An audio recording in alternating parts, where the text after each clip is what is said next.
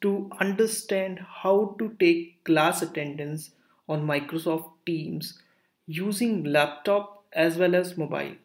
So the first thing what we have to do is we have to click on this three dots here in Microsoft Team system application to add more applications. So then you have to type forms F-O-R-M-S here and you have to install Microsoft Forms. Okay. After installing Microsoft Forms, you can basically go back to the team. And if you want you can start your class as well. Okay let's see how to use this Microsoft form for taking attendance in between the session.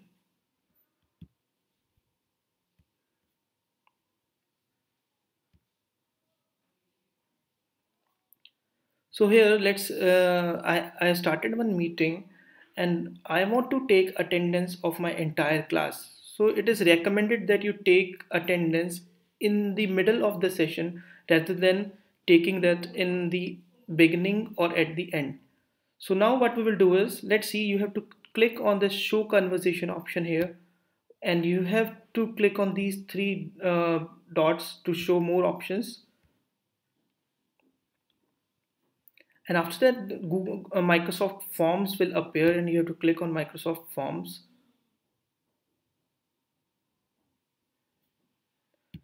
Type mark your attendance. Also write the name of the section and class. For example I want to take attendance of grade 10 B. So I will write these this as well. And here I will type present. I will delete the second option because I don't not require that please disable multiple answers because I want to take only one response for one student. Then I will click on next. Okay this is a preview what the student student will do. Student will click on the present and then they will submit their vote. Okay after that uh, we have to click on send and it will get posted in the chat section. Okay so now what you have to do here is you have to ask your student to mark their attendance by clicking on present and then submit Student will mark their attendance and submit and you will get all the data here. Now let's see how to take attendance using mobile application. So this session is to understand how to take attendance in class using Microsoft Teams in mobile application. So what you have to do is you have to log in into your Microsoft Team application and after that you have to click on your respective channel. So I am taking chemistry. I have to click on uh, my channel. And uh, you have to start your meeting. So I will restart my meeting.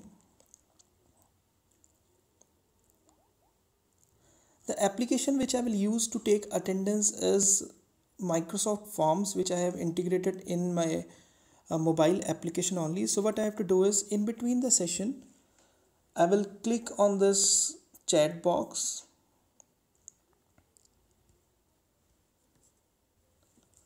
and uh, here are three dots which I have to click. After clicking on the three dots there I will click on Google uh, Microsoft Forms.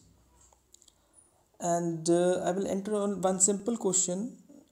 Mark your attendance. Okay. Present.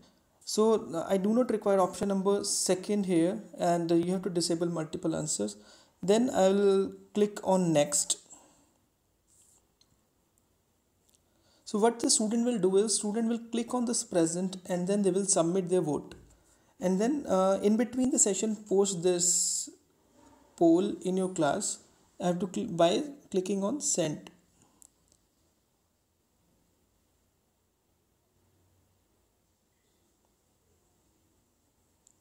Okay, so now you can see I have posted this poll in my class okay what the student will do is student will click on this and I will record their responses. So let's see how to download the entire attendance data in Microsoft Excel of my class.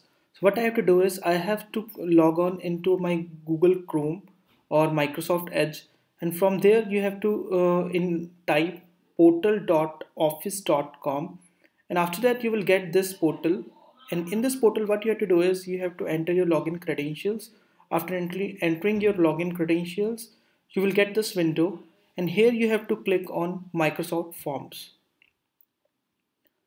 And whatever data whatever uh, you, you have recorded you will get your entire data here. Say for example uh, I took the data of grade 10th B in my video and I got one response here.